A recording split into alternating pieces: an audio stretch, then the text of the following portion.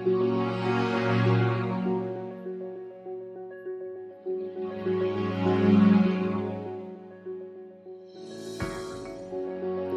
Sanitation complex के तामीर और देखभाल।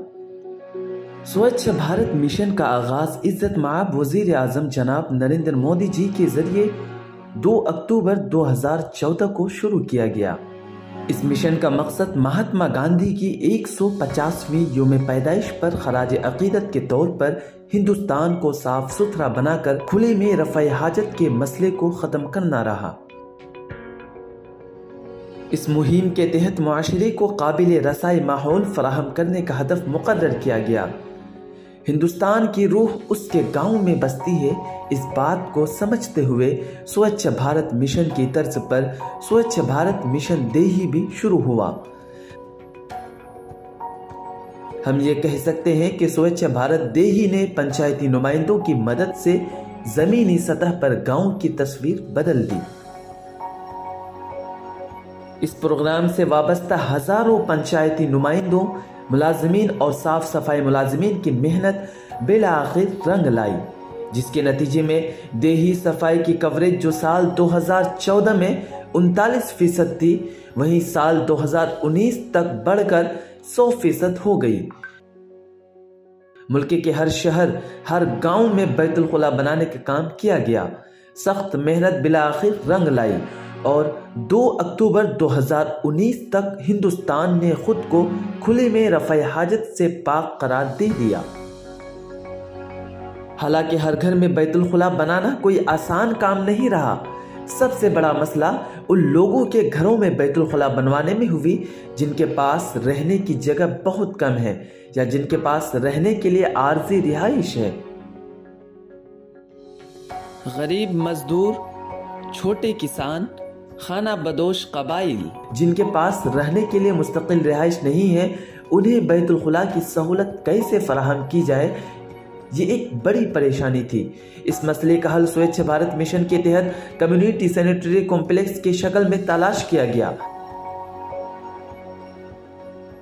आज देही तरक्की और पंचायती राज के वजारत की मदद से गाँव और देही इलाकों में मुख्तलिफ़ मकाम पर खातन और मर्दों के लिए अलग अलग कम्युनिटी सैनिटेशन कॉम्प्लेक्स बनाए जा रहे हैं। मरकजी हुकूमत ने स्वच्छ भारत अभियान के तहत उन इलाकों में जहाँ आबादी ज़्यादा है या जिन इलाकों में लोगों की बहुत ज़्यादा नकलो हरकत है, वहाँ कम्युनिटी सैनिटेशन कॉम्प्लेक्स की तामीर का भी इंतज़ाम किया है। पंचायती नुमाइंदे के तौर पर आप कम्युनिटी सैनिटेशन कॉम्प्लेक्स की तामीर में क्या किरदार अदा कर सकते हैं?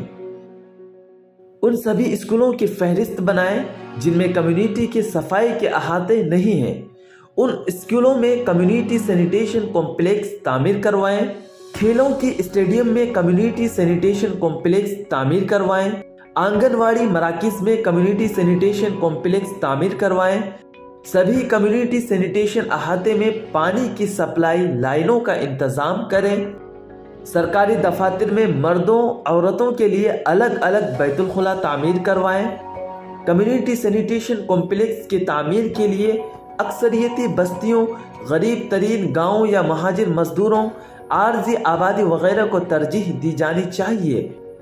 कम्युनिटी सैनिटेशन कॉम्प्लेक्स में toilet sets, bathroom, laundry platform, हाथ धोने के बेसिन वगैरह को मुनासिब तादाद होनी चाहिए।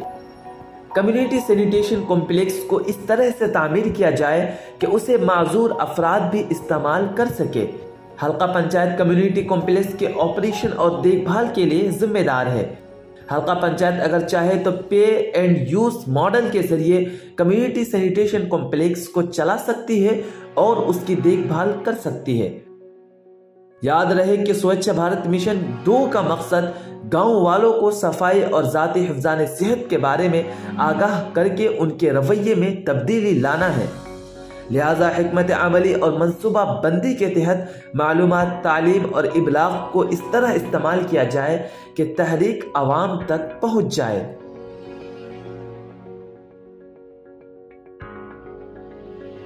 गाँव गाँव में सफ़ाई का फूल खिलेगा, साफ़ सफ़ाई को हम सब का साथ मिलेगा। जय हिंद, जय भारत।